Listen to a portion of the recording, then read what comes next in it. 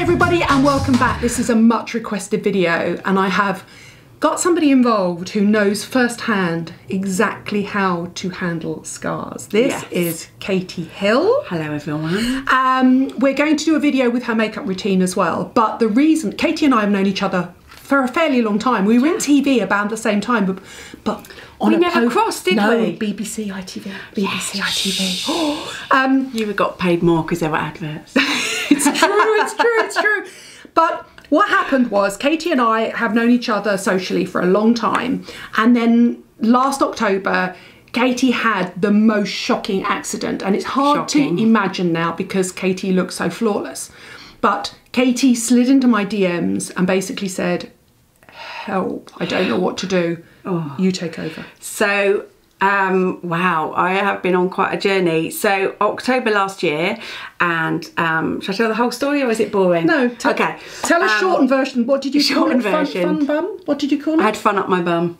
My friend's mum used to call it that. Like when we were being all a bit woo, it's fun up your bum. So it was half past seven one morning and school day and breakfasting at home. And Trey, my husband, leaves at seven every day to get into London. And this morning he wasn't. He was leaving a little bit later. So I thought, right, I'm going to bring the mummy fun. So instead of going to the downstairs loo that was empty, I chose to chase my daughter Kaya, who's 13, up the stairs to the upstairs loo, just kind of Yeah. foolishness. Because we wanna be fun. Because we're fun. So we get into the lounge and I'm like, oh, Kaya, look over there. I think the cat's got a mouse. And then I race past her. I'm up the stairs. I'm killing myself laughing because I'm so clever that I outfoxed her in the lounge and I'm going to win the race tripped on the top step, launched across the bathroom so fast. Now, I don't know whether this was the speed of it or whether I was half asleep, but I didn't get my hands out in time. And I landed with a hand each side of the loo and my head face planted the back of the seat. So, you mm-hmm. know, the lid where it's got round disc so it doesn't bang literally it went into there and it was the most almighty crunch and I you know when you go cold when something like that happens and I was like okay Kaya I've just got to go downstairs and see daddy. And I put my hand there. I had no idea. There was blood on the toilet seat. Went downstairs said to Trey I think I might need an ambulance. And I took my hand away and I thought he was going to pass out bless The, him. it's the look on somebody's face, yeah. isn't there? I hadn't even seen it but I knew it was awful. I know. So at this point, I'm going to warn you that we're going to drop in some pictures. It, like when you see me now, you'll be like, what could they possibly show? and the reason I need to drop in these pictures is because you would not believe looking at Katy now how shocking this was. Now I didn't see the original picture, which we're going to put in. Warning. Uh, I actually saw the picture when she'd gone to the NHS hospital and had it stapled, stroke Frankenstein, as I like to call it. And she DM'd me and said, I don't know what Help to do, me. Nadine, help. And you could tell at that point she was desperate. And I just went out of my way to try and help her as much as possible. Um, so, but what she did was she followed everything she was supposed to do to the letter. And so she's first hand experience in how to treat huge scars. This scar was huge on her face. huge. So- and they had to sew. So basically, I went down Tell- to the bone. tell us, yeah, what happened. So, um, so the ambulance came, and um, they weren't great. I'll be honest. And they were going off their shift, and they were like, "Oh, you just need to go and get it glued." They didn't even look inside it. Thank God, I was in my head thinking, you know what, if I've got to get anything done, I'm going to go somewhere where I know there's at least a plastics department. I'm not going to the local surgery where there's a nurse And with a glue gun. what's your local hospital? John Radcliffe in Okay, so Oxford. really good hospital. Amazing If you're watching this out of the UK, They were a delicious. really good hospital. Oh, and they were lovely. And I went to A&E at the John Radcliffe. And it's amazing because there's always things that happen that just make you so grateful. So at that point, I was grateful to be alive. I truly wasn't thinking this is a life-defining money star moment. as I like to wasn't call her. because I was like, I'm bearing in still mind she's a radio, TV presenter, life coach. I mean, I was like, I'm still here. And I was lying there being sewn up, and there was another girl in the ward who was having a terrible asthma attack, and they were having to put a tube down. And listening to her beg her mum for it not to happen, I was sobbing. And the sweet man sewing me up, I think he thought I was sobbing because I was devastated at my face, and I was just sobbing for this sweet girl and her mum. And it's like people go through amazing things, like. And I was just glad to still be there. So the minute I knew it was down to the bone was Trey, bless him, my husband was standing next to me while it was being sewn up, and I, I could tell he was a little bit ashen. And the guy had been sewing for about half an hour, and then he went, and I thought oh, he must be done. I was kind of aware of him casting off, kind of, um, which I remember from sewing at school. school. Yeah. Sewing lessons at school. Could you do blanket stitches, Yes. please? And then, uh, and then he said, "Oh, I'm going to start the outside now." And I was like, "What?" Whoa. And he'd spent about half an hour, so I'd gone right to the bone, very clean cut.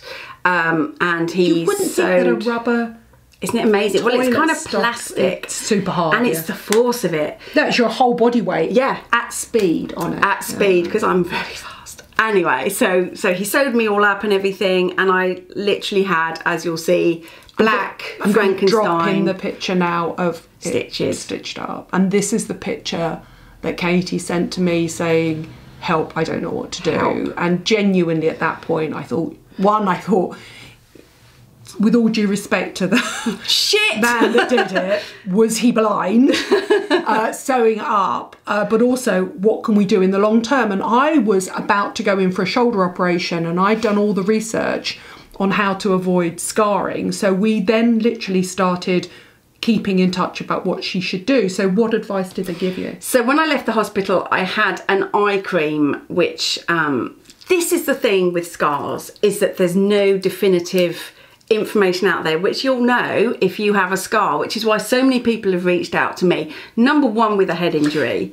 Follow Katy on Instagram at Oh, yeah. I'm I am K A T Y H I L L because she's been there, seen it, done it. I mean, honestly, hand on heart, short of a cosmetic surgeon or a dermatologist, she's been there, seen it, done it. She knows everything about scars now. So, Yeah. and she does genuinely answer all your questions. Yeah, I do because you know what? The minute I did it, the outpouring on social media that I got from phenomenal people who had lost relatives doing something similar.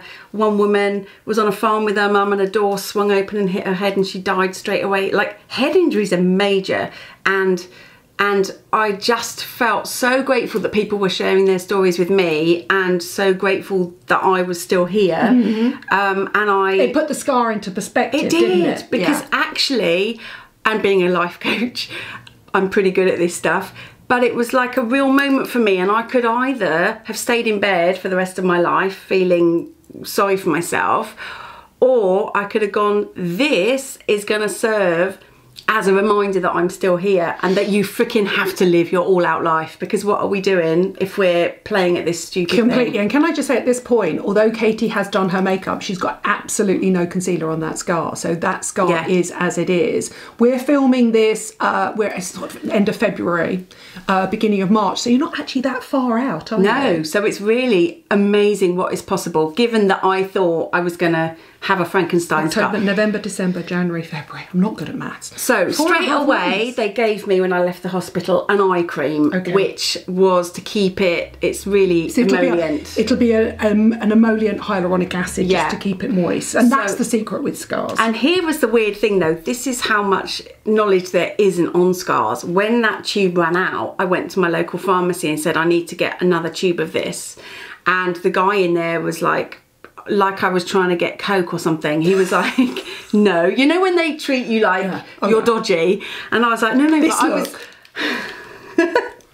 Totally, totally. Just for the record, I've never done coke. I'm just putting that out there in case someone thinks that was a weird reference. Anyway, so I was like, no, no, I was given this in the hospital for my scar. And he literally laughed in my face and went, they wouldn't have given you that. So the whole journey is quite lonely because also, nobody has a by your. GP, you were told to dry it out. Yes, I uh, day three, which we'll drop in for you. Um, I blew up like Trey called me uh, tawny Phil. Did you remember Groundhog Day? it was amazing, and I. And my eyes were like this. Um, so that was a good day. That was a shocker of a day. And the GP told you to dry your scar dry your scar out, which is the worst thing Well, you because can do. growing up, if you had a, scar on your arm or your leg, Yeah. they would just go, open then it to the air, scab, wouldn't let you? the air, yeah, Oh, yeah, gross. exactly. Whereas modern wound healing technique is the exact opposite. And the idea is you keep as much moisture in it as possible. Yeah. Hence the fact we're going to talk about everything that Katy actually did. So even a GP doesn't know what to do They to minimise scars because you can't be specialist in everything. They're too busy you? saving lives. Yeah, aren't they? totally. So it has been quite a journey because there's nothing really when you Google it. So I decided early on I'm going to find out everything I can. I'm very much about healing from the inside out as well, rather than just topically. So here I've got some of the stuff that's I think worked for me. Okay. So probably Yes. 60 stitches inside. Yeah. But eight externally. External, which How stayed long in for a week. Okay, right. They were in for a week and then I had them removed at the surgery, at which point I was just applying the eye cream until it healed. okay. So until how there was did it- no broken skin. Yeah, so how long did the skin take to So that was across? probably about two weeks. Okay, and at this point you hadn't used any silicone tape? No, Okay. Even though, so how, how long after did I tell you to start getting some silicone tape? So you told me to use that when I went to. So I went to see a specialist. I went Right. to see. One week in, I just had the the stitches out, and I went to see a specialist in London, who I shan't name, um, but obviously was massively vulnerable because I had a smashed face, and they recommended about four and a half thousand pounds worth of laser treatment. And my gut was, I don't have four and a half thousand pounds to spend on my face. I truly don't, because anyone who is a busy working adult parent will know that four and a half grand is a family holiday. I'm But never going to spend that on my face. That is a vulnerable, you're at a vulnerable time there. Yeah. Where it couldn't have looked worse. couldn't have You looked look- worse. It looked like Frankenstein. I mean, I'm surprised I didn't sell a child to be able to afford four and a half grand's worth of laser. But I was honestly mindful at the time of the fact that I'd had a massive outpouring from people following my journey. And I wanted to see what was possible without shelling out four and a half grand that I don't have.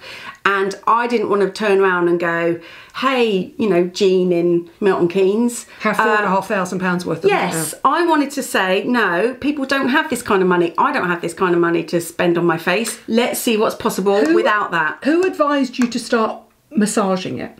Online, I found Yeah. it. So I found online that basically what you're trying to do is avoid um, a, a build up of scar tissue underneath the scar. Um, so to keep it flat, what you can do is massage it. So basically, I went to see this. Um, Specialist. specialist. I decided no thanks to your four and a half grand, but thanks all the same. Did he give you any other advice at all? No. I know. Thanks. Um, and um, he, so I kind of went home from that think, feeling really like I want to fight this head on. So I thought, right, I'm going to do everything internally that I can do for starters. So what I did was, um, I've taken these skin supplements forever and a day, Lumity So this is Lumity. morning and evening, three of these, and I thought, do you know what? If it's for skin, it's not going to hurt. No. So I made sure that I took these every single day. Um, I also did some research about vitamin C, which is phenomenal for healing.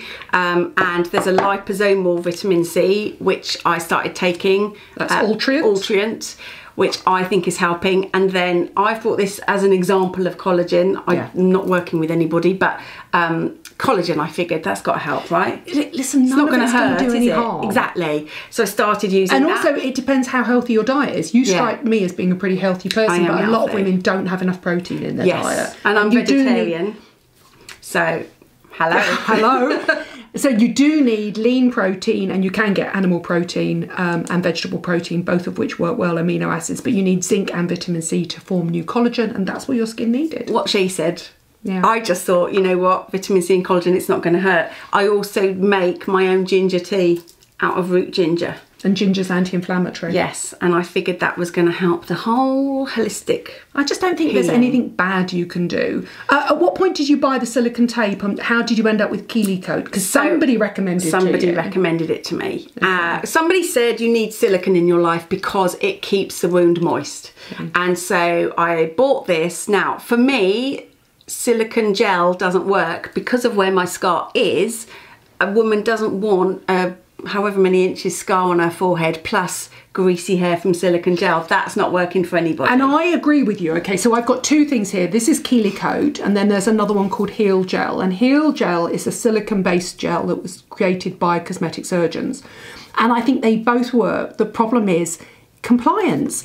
They it it silicone doesn't stay on. it, it just sort of moves and it's Yeah. a bit greasy and, Yeah. and I think if you've got a flexible space like here or here or here or maybe somewhere on your body but my advice would always be get tape because Yes. Well, you told me about me your tape. tape because your tape's Darling. brilliant this is so good she's found the best tape So ever I lick. People say what make is it? I have no idea. I just buy it on Amazon. So it And comes what do you Google? in strips. You Google silicon tape, scar tape scar tape. I And don't so- even think scar. See, mine's actually better than yours. okay no so this comes in a big roll Okay. and I cut it up because it's exactly the shape of the tiny cuts I've got on my Oh, shoulder that's so clever. so that came, came But on a see, huge for my roll skin, that's a better colour match than yours is too pink for me. Mine is a bit pink, isn't it?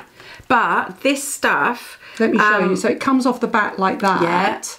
And it's basically like a sticky plaster. But tell you, I tell you what, look. Look at us. Once it's on, it just stays in place. It's amazing. So mine, I've now taken to cutting as slim as I can because then it's covering less of my forehead.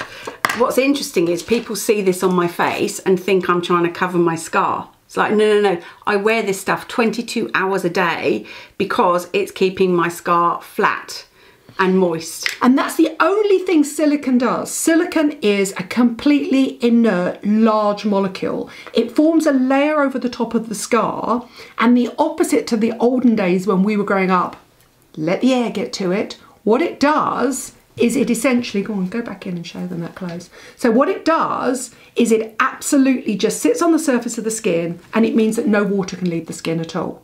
So, it keeps the wound shut and tight.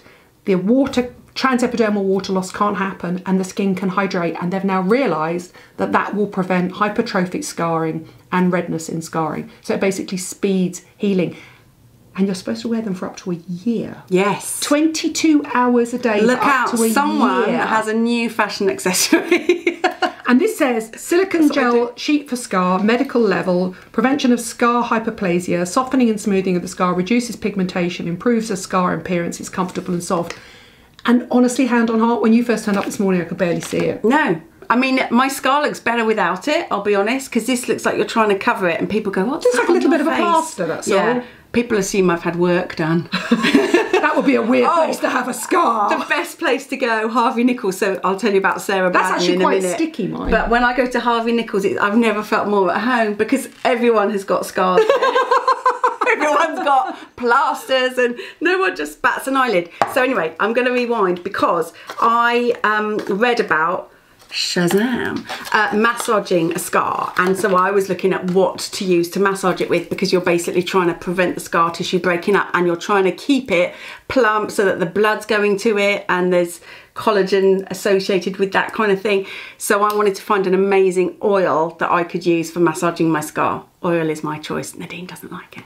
no i would use oil to massage a scar and I, in Oh, fact you? um, the one i would probably quite like is the um, the lumity one yes, Lumity is amazing. So But you're using a fractionated Coconut coconut, oil, oil. yes. And what's interesting about coconut oil is coconut oil is it doesn't get absorbed by the skin. It's an emollient and it's an occlusive. so it how you say basically it? sits on the surface of the skin. What? emollient. Emollient, yeah. I always say emollient. See, that's why I'm not a beauty Emollient, vlogger. Um, but uh, the coconut oil, so basically, it, because it's fractionated, it's liquid. So it's slightly more emollient and less occlusive. But coconut oil itself is more of a wax than an oil. It sits on the surface of the skin. So it's essentially doing pretty much the same as that. Oh, it's blue! Yeah, so that's this magic. So this one is called Yarrow Pom, which is yarrow and pomegranate cold pressed oil. Look at the colour of it. When I go to bed at night, I cover my face in this. Put a drop on the back of my hand. It's dreamy. So when I first did this, I was massaging it just with that one, which is spectacularly healing. Nadine doesn't think so, but I do. No. I don't believe in the power of essential oils. This is why this is so good. But that is a lovely, Look hydrating, Oh. lightweight oil. I So get I why you like night it. oil. I get why you like it. Well, you know I'm a slippery salamander Yeah, and I you love are it. a slippery now this. I do. but I, if I was you, I would use rosehip because it's got. See, I look like I'm just kind of zoning out now. Now what's amazing is this oil, because I've used it since the beginning, the smell of the myrrh and the frankincense, this to me is the smell of healing. Like this is like a Oh, so it doesn't take you really back to a- trusting It does make of it super red. yeah, because I think it's grabbing all the I also Whereas I think it's back with the irritating, yeah. I think it's I think that's keeping a it sign red. of irritation. Look. Hmm. So there's that, which I do every morning for 10 minutes. And whether you like oil or on. don't like oil, whether you like essential oils or don't like essential oils, no judgment, go on your journey. For me, the oils, I totally get the fractionated coconut oil makes complete sense. For me, probably my choice of oils would be uh, squalene or rosehip oil, like argan oil. Any of those oils, Yeah. really. Anything that's Just quite the emollient and quite ness Yes, of it. exactly. Or you could use a cream. Now, this got recommended to me. It's called Alhydran, which has been phenomenal in burns. I wish I'd known it when I threw green tea over myself three years ago. Um, amazing for burn scars. I use it occasionally on this one here. I haven't heard of this one. It makes my scar less red, but it makes me also panic because suddenly I see a silver line of my scar and I go, oh no, don't let it be finished. Don't let that be what I'm left with, which it may well be. But this is amazing. It's about 70 quid for a tube like that. No, it's But it's aloe. not four and a half grand of laser treatment, is it? So this is aloe, water, triglycerides. You can try it. I shall leave it with you. You can let me know what you keep think. it. But it's what the And then main jojoba thing, oil. The main thing jojoba with oil scars is to moisturise them. Wouldn't you agree? And the tape is phenomenal to keep it. Yeah. To keep it, um, you know, when you were a kid and you would leave it, and then it kind of goes lumpy. Mm. And then so you've got the scab. whole thing is avoiding this go lumpy. Oh my gosh! The other thing that I've done, talking about Harvey Nichols, Sarah Braddon, I have to mention. There's this woman at Harvey Nichols Talk about the Botox. and Botox. Harvey Nichols, Sarah Braddon is the most incredible woman. So she does facial acupuncture and she puts all these needles in, doesn't hurt. It doesn't go in the scar, it goes all around, It's all around. the scar. It's very cool. But what she is going to start doing is microneedling. Yes. And when you're it's ready- slightly less red. When you're ready for microneedling, you know you can do it at home as well, right? Yeah. Yeah. But frankly, Sarah's got a very big sumptuous duvet. and honestly, No, I went. you're going to have to do it two or three times Regularly. a week. Yeah. When I went to first see her, so she does all the acupuncture, she puts needles in my ears, she's got classical music going, you've got a red light on you, she does reflexology and she does Reiki, and I honestly could have burst into tears because as a woman, you just keep going for everybody else, and it was the first time in three months that I felt like somebody else was looking after me. You were being treated as a person and Yeah. not as a scar. and she's i could literally if i could eat a human it would probably be her she's so lovely i've only seen her twice but every time i go it's flatter so some people go to her for anti-aging like because your face just glows afterwards Yeah, because she she's does, very holistic She does um, facial acupuncture, which is right. almost like dry needling as well. yeah So even if you don't believe in acupuncture, I don't. Even if you don't believe in Reiki, we're like chalk and cheese. Even if you don't believe in essential oils, I do believe the actual act of puncturing the skin will make you grow new collagen because it is the same as microneedling. but there's not that many needles though for to There's build new collagen. that bit there is. Yeah.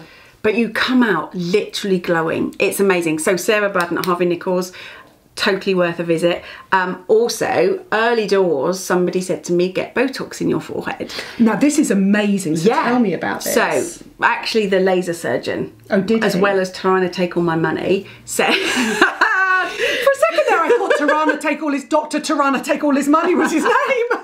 um, so he said have you thought about botoxing the area because Had you ever had Botox stopped- before? yeah i tried it in the past but tiny bit. Tiny. I never think of you as having a frozen No, because I don't want that look. Yeah. But I've occasionally gone and gone, could you make me look a little bit less tired? Um, and I hadn't had it for ages, and he said um, that Botox would really help. So the only place I've ever been for Botox has been Courthouse. So I went in. Okay, so the Courthouse- who's So I need to go again because look how much movement. Dr. Miriam, okay. she's amazing. I don't think you've got a lot of movement. I think it looks really good. Um, Well, it needs redoing. and I then think she do the there, is Botox just in a normal way or in a specific way around the scar? So when I had it done for the scarring, I actually had it done by laser doc. And he literally went right round the scar because he said what you're trying to do is stop the skin moving with the, Okay. with your face, which is quite expressive. Um, Now, bearing in mind you I think damaged the to tell me I was muscular layers as well. Yeah. bearing in mind you you you damaged the Yes. muscular layers as well. So basically, he's trying to allow the muscles to hit, kneel, Kneel and hit. Kneel and heel. Heel Yes. and knit together as well. Okay. And so it was interesting because um, nobody had ever heard of the Botox for scarring. And then last week I actually went to a scar place in Bristol and the guy said, yeah, there was a huge research paper done a couple of years ago. Just for this area? Botox for scarring. Now that I don't know. I think it would be relevant in an area of movement. Yeah. So your shoulder, no. No, because there's here no skin moving. Yeah. or here. Yeah. Uh, tell us the uh, name of the specialist scar place that you again tracked down all on your own. Yeah, so I went online. The reason that I loved the look of this place was because it was the only place I found that looks after people's mental health following a scar, which I'm aware I'm spectacularly lucky because of my beliefs, because of my um, Training. training, and I have turned it into a huge life affirming positive. But I can see how you could go down a spiral.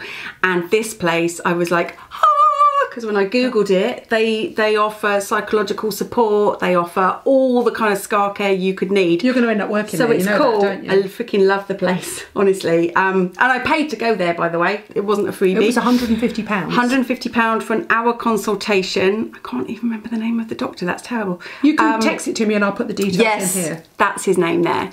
And um, he was like a knight in shining armour. And actually, if I'd thought about it and known about that place on week one, I would have gone. Okay. Because had any scar revision been necessary, redoing the scar if they didn't think it was well done enough, getting a long term plan, you literally just feel like you want someone to be in charge of what's happening with you. And it's scary when, as a non medical expert, you feel like you're in charge But also, you're being told of what's happening and you're being told different things. So Because the truth is, people don't know Yes. that much about scars. Yeah. They don't. So the, the place is called, it's in Bristol. It's the SCAR team in Bristol. It's in Clifton in Bristol. Okay. And, um, and is it part of an NHS or I think it's part of Nuffield Health, so they are NHS, aren't they? But it's a private arm Okay. of the NHS. And what I loved about And it do they do was the all scars, not just facial scars, body scars, everything. everything? They do everything you could possibly need doing to a scar. They do makeup. They do you know consultations. So they do on camouflage, they everything. do s- silicone scar taping. Do they offer yeah, you any skin? microneedling they can do. Perfect. Okay. Um, they probably offer lasers as well. Yeah, actually. And I basically went to see him because I loved what they were doing, and I said to him, "Look, I've been uh, recommended four and a half grand's worth of laser. Um, on the flip side, the NHS have told me to do nothing to it for a year, and." I just wanted to be sure that I was doing the right thing. I wanted a third opinion that might sit somewhere between the two. What did he say? He said I was a grade A student. Yeah, you he are. said I'd done everything that I was supposed to do. Um, had he seen it early doors, he might have redone part of it, the top, The top where bit, it was most open, which is a which bit is more probably the place of in- import. It's Um, really not bad at all. but um, and if ever I wanted it, there's a thing they can do where they make it more of a zigzaggy scar. yes, So it's not such a line. Yes. Um, a massive thing he said. If you have a scar, just go there because he said there's this taping that you can do, which potentially I should have done early it's all the butterflies. Yes. push it back together. Yes, which nobody told me about. So I didn't do that. But he would have you tape it quite early on. Is it the only place in the UK, or do you know if there's a series of them? no, there are other Nuffield Health. I'm pretty sure that's where the SCAR team is based for the UK. You don't know if they do um, Skype kind of FaceTime calls or anything I like that. I don't. I'm sure they would be open to it, but I'm sure they'd be open to it. I mean, I got the train down and it was like really not that long to Bristol. Okay. Nice little trip to Clifton. Um, but I just Clifton.